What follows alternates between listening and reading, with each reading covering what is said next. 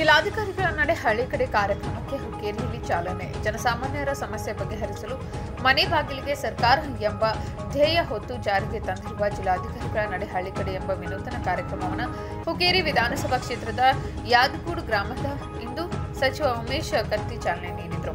ಗಡಿಭಾಗದ ಮಕ್ಕಳು ಕನ್ನಡ ಶಿಕ್ಷಣದಿಂದ ವಂಚಿತರಾಗಬಾರದು. ಜಿಲ್ಲಾಧಿಕಾರಿ ಎಂಜಿ ಹಿರೇಮಠ್ ಗಡಿಭಾಗದ ಮಕ್ಕಳು ಕನ್ನಡ ಶಿಕ್ಷಣದಿಂದ ವಂಚಿತರಾಗಬಾರದು.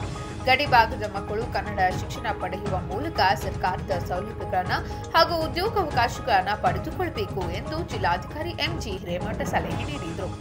ಸ್ಮಾರ್ಟ್ ಸಿಟಿಯಲ್ಲಿ ಲೈಟ್ ಇಲ್ಲದ ಕಂಬಗಳು ಎಲ್ಲಿದೆ ಸ್ಟ್ರೀಟ್ ಲೈಟ್ ಕನಬರ್ಗಿ ಮುಖ್ಯ ರಸ್ತೆಯಲ್ಲಿನ ವಿದ್ಯುತ್ ಕಂಬಗಳಲ್ಲಿ ವಿದ್ಯುತ್ ದೀಪಗಳ ವ್ಯವಸ್ಥೆ ಇಲ್ಲ. ಈ ಕಂಬಗಳು ಕೇವಲ ಹೆಸರಿಗೆ ಮಾತ್ರ ನಿಂತಂತೆ ಕಾಣುತ್ತಿವೆಯೇ ವಿನಃ ಲೈಟ್ ವ್ಯವಸ್ಥೆ ಕಲ್ಪಿಸುವ ಯಾವ ಲಕ್ಷಣಗಳು ಕಾಣದೇ ಇರುವುದು ಬೇಸರದ ಸಂಗತಿ.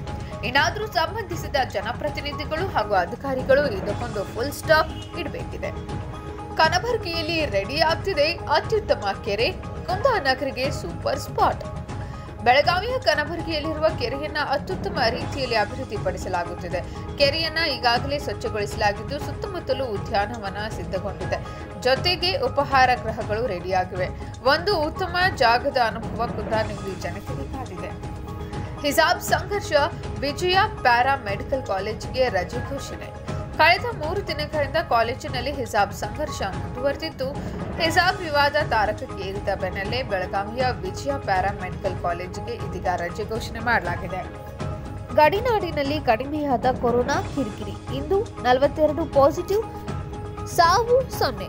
ಬೆಳಗಾವಿ ಜಿಲ್ಲೆಯಲ್ಲಿ ಕೊರೋನಾ ಪಾಸಿಟಿವ್ ಪ್ರಕರಣಗಳು ಸಂಪೂರ್ಣ ಇಳಿಕೆ ಕಂಡಿದ್ದು, ಗಡಿನಾಡಿನ ಜನತೆಯಲ್ಲಿ ಸಮಾಧಾನಕರ ವಾತಾವರಣ ನಿರ್ಮಾಣವಾಗಿದೆ.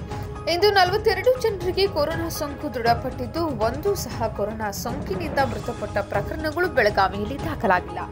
ಪತ್ರಕರ್ತರ ಸಂಘಕ್ಕೆ ಅವಿರೋಧ ಆಯ್ಕೆ. ಕರ್ನಾಟಕ ಕಾರ್ಯನಿರತ ಪತ್ರಕರ್ತರ ಸಂಘದ ಬೆಳಗಾವಿ ಘಟಕದ ಜಿಲ್ಲಾಧ್ಯಕ್ಷರಾಗಿ ಟಿವಿ ಮಾಧ್ಯಮದ ಪ್ರತಿನಿಧಿ ದಿಲೀಪ್ ಕುರುಂದುವಾಡೆ ಅವಿರೋಧವಾಗಿ ಆಯ್ಕೆಯಾಗಿದ್ದಾರೆ.